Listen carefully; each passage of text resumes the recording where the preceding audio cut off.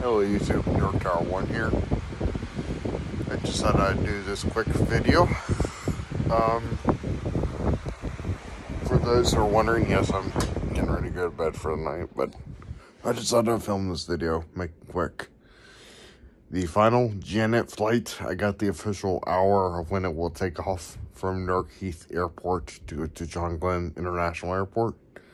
Um, the plane is scheduled um, for Thursday night at approximately 10.30 um, to depart.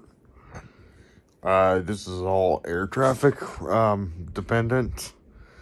Um, the Ohio Central NHL will work its final um, final Thursday, this Thursday. Um, the Ohio Central NHL will be.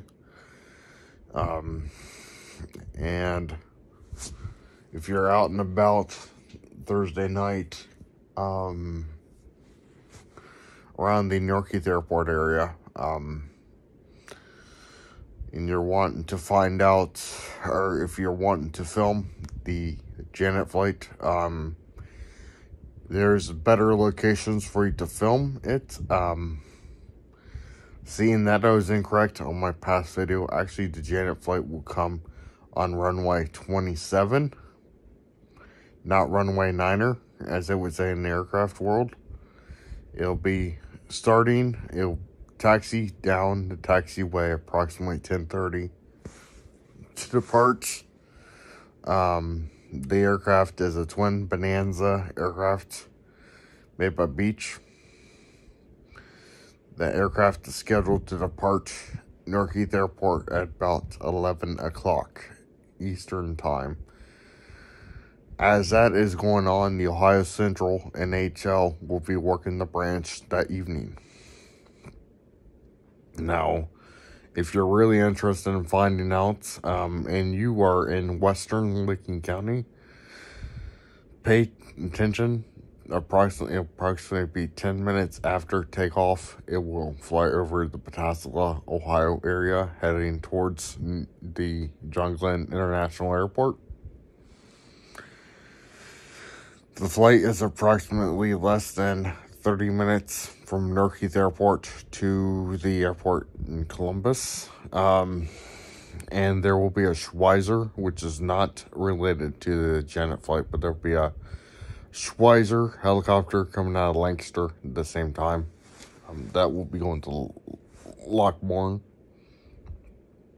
But if you're out and about on Thursday night, this Thursday, matter of fact, at this time approximately, um, and you're out rail fanning late at night, um, don't forget to look to your east um, if you're in the Heath, Ohio area, um, especially for the Janet flight. The Janet flight will, like I said, this is the timestamps. It will take off at 10.30 that night. It will taxi down the taxiway from the parking, the staging area at the Heath Airport. Um, the aircraft will then go from there, from Heath Airport. It will go towards the 27, runway 27 marker. And then they will get clearance um, from the Indianapolis Center to take off. It usually takes about 10 minutes. They got to do their safety check, pre-flight check, and everything before they take off. So flaps and everything they got to check and um, then they'll make a beeline to the west on runway 9, which is facing the Heath Port Authority, where it will then take off. And if you're out at Keller Drive or if you're around the Thornwood Drive area that evening, which is Thursday at night, um, pay attention to traffic, obey all traffic laws while you're filming do not speed. Uh, do not go down to the airport and camp out because while this aircraft's taking off, you could be arrested. But if you want to watch the Janet flight take off that evening, like one of my subscribers uh, who lives in South far southwestern Ohio said he would come up here that night and stay the night at a hotel. But if you really want to come out and watch the Janet flights, please make sure you're doing it safe. Um, make sure if you're wanting to um, film the aircraft, I would start at Keller Drive in Heath.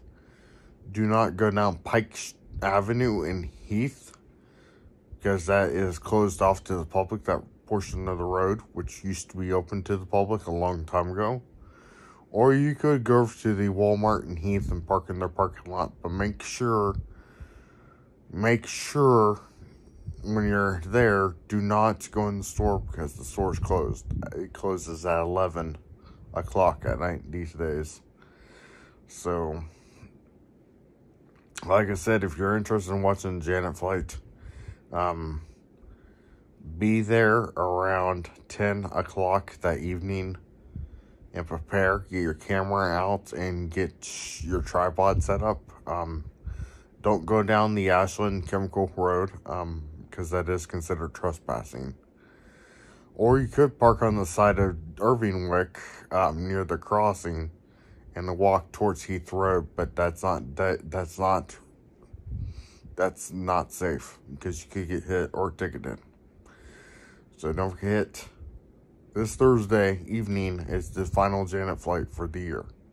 Uh, going towards Port Columbus International Airport, uh, also known as John Glenn International Airport. Um, if you're wanting to watch the aircraft, um, I do not know if it's going to be listed on Flight Radar. It could be. I don't know. But step on out if you're in the Heath area and watch the aircraft that night. Uh, if you're my subscriber. And more specifically, the Ohio Central NHL will be working the branch also. So it'll be a double-edged sword. Um, you could go over and park at the um, at the Indian Mound Mall um, I don't know how they feel about folks parking there that late at night, especially if security is going to be out. Or you could park at the Kroger parking parking lot in Heath and go to the edge and watch the Janet flight take off. Um, here's some good areas you could go um, to film. Walmart's 911 Heath here Hebron Road in Heath, Ohio. 910 which is the Kroger. You could go to Rural King, um, park in the David Shea house. You can park there and watch it. Or if you're hell, if you're out and you drink late at night, you could go to Applebee's and film it from there while you're out to eat. Or I'd recommend um, going to Keller Drive, pulling on the side of the road at Wasteway Systems and park there and or around there or go to the railroad crossing on Hallie Lane and face the east. Um, or if you're interested and you're in the Newark area, if you're in the north or west, southwest quadrant of Newark, you could go over and park at the Humane Society. I don't think they would have a problem with you parking in the Humane Society and filming. Um, be there at no later if you're wanting to film the Janet flight, the final one for the year, the final Thursday one of the year. Um, be there no later than 10 o'clock. So if I was to leave, I would leave here about 9.30 and get up there. Um, which I'm not going to film, go up there because I got a doctor's appointment the morning of. So, if you're interested in watching the final Janet flight, this is your time. Be there, um, be there, be square. Don't forget to like, subscribe, subscribe for more content, and more specifically, watch, watch out that night for the Janet flight. Tower 1, out.